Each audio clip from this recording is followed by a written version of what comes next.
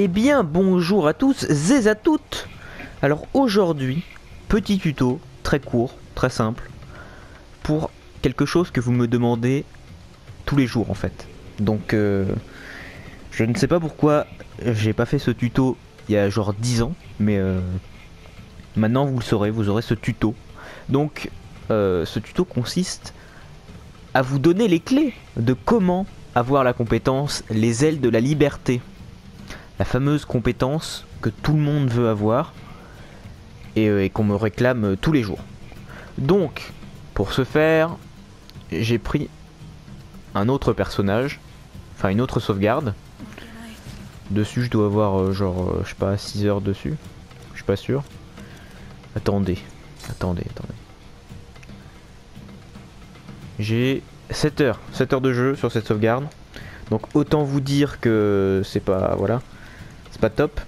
C'est un, une ancienne sauvegarde de speedrun, donc euh, voilà. Donc, revenons-en au sujet euh, principal. Comment avoir la compétence les ailes de la liberté sur notre personnage principal? Si vous avez regardé mes, euh, mes tutos sur comment avoir les compétences, enfin comment avoir toutes les compétences, vous savez comment avoir les ailes de la liberté sur tous les autres personnages, mis à part votre personnage principal. Alors je vais vous présenter sur enfin comment l'avoir sur votre personnage principal. Voilà, c'était long à dire, mais maintenant c'est dit. Donc tout simplement, c'est tout simple. Hein. Là, je ne l'ai pas. Vous voyez, j'ai deux compétences.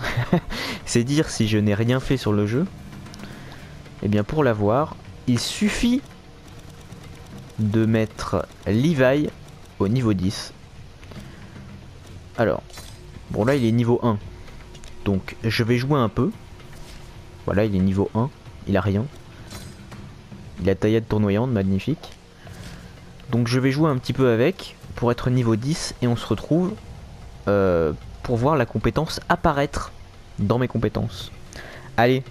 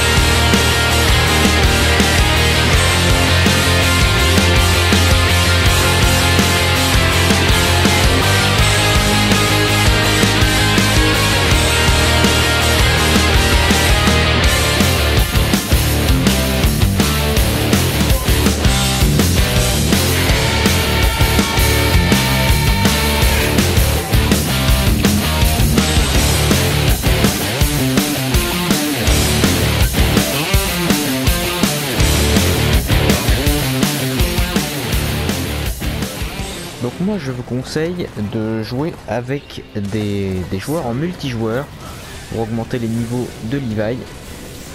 Parce que là sinon euh, c'est un peu long quoi. Et de surtout jouer en GN, même si vous avez un niveau ridicule. Au pire si vous, faites pas, si vous ne faites pas de dégâts, bah essayez jusqu'à ce que vous fassiez des dégâts en fait. Il n'y a que ça à faire. Et si vous avez des coéquipiers, ils vous aideront à tuer les titans. Bon, alors, je suis euh, décédé à la fin de la, de la mission. Mais c'est pas grave, plus que un niveau.